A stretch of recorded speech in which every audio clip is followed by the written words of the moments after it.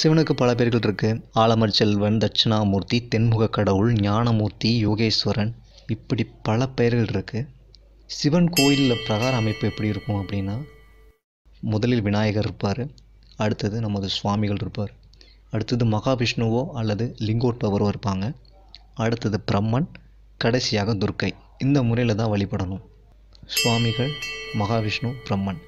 இந்த மும்மூர்த்திகளில் சுவாமியே முதல் வழிபாட்டுக்குரியவர். உரியவர் சுவாமிகளை வந்து குருன்னு சொல்கிறாங்க குருங்கிறது யாருன்னு பார்த்தீங்க அப்படின்னா குற்றம் குறைகளை கண்டு அதை அகற்றுபவர் தான் குரு. அந்த குரு பரம்பரையில் இவர் தான் முதல் குரு.